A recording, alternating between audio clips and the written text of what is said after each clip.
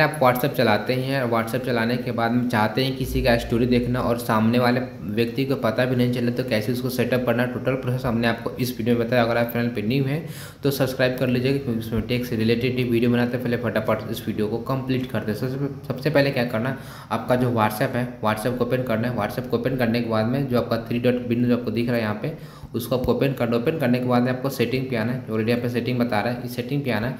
Setting पे आने के बाद में यहाँ पे जो प्राइवेसी का जो ऑप्शन बता रहा है। उस प्राइवेसी को आपको ओपन करना ओपन करने के बाद में जैसे प्राइवेसी ओपन कीजिएगा ओपन करने के बाद में यहाँ पे देखिए जो रीड रीड रिसिप्ट जो दिया हुआ है इसको आपको अगर ऑफ़ हो तो उसको ऑन कर लीजिएगा और यहाँ पे एक बार नोट डाउन कर लीजिएगा। ये पहले ये मैसेज में भी था जबकि ये मैसेज में था कि अगर हम किसी और कोई बंदा मैसेज करता है तो हम उस मैसेज को पढ़ते हैं, लेकिन सामने वाले व्यक्ति को पता भी नहीं चलेगा कि हमने उसका मैसेज को पढ़ा है।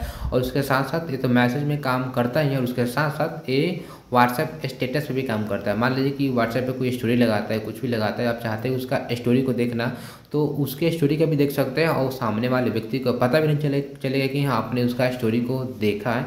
इसको अगर ऑफ़ होगा तो इसको क्या करना आपको? यहाँ से इसको ऑन कर देना ऑन करने के बाद में आज, अब जब ऑन हो गया तो आपने अगर कोई मैसेज करता है, अगर उस मैसेज को पढ़ भी लेते हैं तो सामने वाले व्यक्ति को पता भी नहीं चलेगा। और उसके साथ साथ अगर आपने किसी का भी स्टोरी देखा है, किसी का भी स्टेटस देखा है व्हाट्सएप पे तो सामने वाले व्यक्ति को पता भी नहीं चलेगा तो इस वीडियो को हम यहीं पे स्टॉप करते हैं और मिलते हैं फिर कुछ नए टेक के साथ, नए नॉलेज के साथ। और आपसे बता दूँ कि अगर इससे रिलेटेड कुछ और भी जानकारी लेना हो तो कमेंट में ज़रूर पूछिएगा। हम इसको जल्द से जल्द एक और वीडियो बना करके बता देंगे।